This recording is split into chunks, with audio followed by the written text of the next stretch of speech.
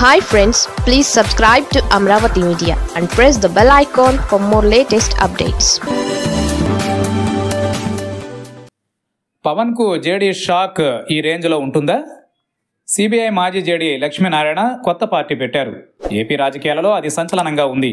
ఒక ఉన్నత అధికారి రాజకీయాల్లోకి రావాలని తప్పించడం ఒక ఎత్తు అయితే ఆయన ఉద్యోగాన్ని సైతం స్వచ్ఛందంగా రాజీనామా చేసి బయటికి రావడం మరో విషయం.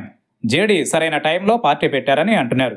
ఏపీలో మూడవ ఆల్టర్నేషన్ రావాలి కావాలి అని అంతా కోరుకున్నారు. జనసేన అధినేత పవన్ కళ్యాణ్ అయితే అలా ఉంటారని భావించారు. కానీ ఆయన పొత్తుల పేరుతో టీడీపీ వైపు వచ్చేశారు. ఇక జనసేనలో చేరిన వారు ఏపీలో ఒక బలమైన సామాజిక వర్గం ఆశలన్నీ కూడా అయోమయంలో పడిన వేళ అదే సామాజిక వర్గానికి చెందిన జేడీ పార్టీ పెట్టారు. జేడీ ఏపీలో ఒక ఇమేజ్ ఉన్న నాయకుడు. అంతేకాదు ఆయనకంటూ యువతలో క్రేజ్ ఉంది. దాంతో జేడీ వెంట నడవడానికి చాలామంది చూస్తున్నారని అంటున్నారు. ఇక జేడీ పార్టీ ప్రకటన ఏమీ సడన్గా జరగలేదని అంటున్నారు. వ్యూహాత్మకంగానే ఆయన పార్టీని ప్రకటించారని అంటున్నారు. పార్టీని ఆయన సరిగ్గా ఏడాది క్రితమే రిజిస్ట్రేషన్ చేయించారని అంటున్నారు. అంటే ఆయన మదిలో చాలా ఆలోచనలు ఉన్నాయని అంటున్నారు. అన్ని ఏర్పాట్లు చేసుకుని జేడీ పార్టీని అనౌన్స్ చేశారని అంటున్నారు.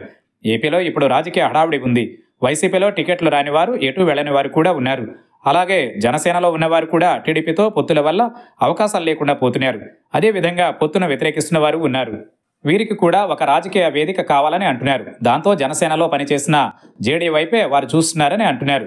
ఈ విధంగా జనసేన నుంచి వలసలు ఉంటాయని అంటున్నారు. అదేవిధంగా వైసీపీ నుంచి కూడా చేరేవారు ఉంటారని అంటున్నారు. మరోవైపు చూస్తే ఏపీలో పోటీకి ఆప్ చూస్తోంది. ఆ పార్టీ అధినేత అరవింద్ కేజ్రీవాల్ చూస్తున్నారు. దాంతో ఆ పార్టీతో పొత్తు పెట్టుకుని జేడీ ఏపీలో పోటీ చేస్తారని అంటున్నారు. యువత రైతులు గ్రామీణం అంటూ జేడీ అజెండాను రూపొందిస్తున్నారు. అలాగే బడుగు బలహీనులకు రాజ్యాధికారమని నినదీస్తున్నారు.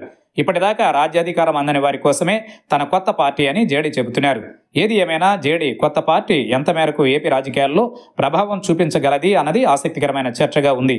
జేడీ టార్గెట్ ఎవరన్నది కూడా ప్రశ్నగా ఉంది.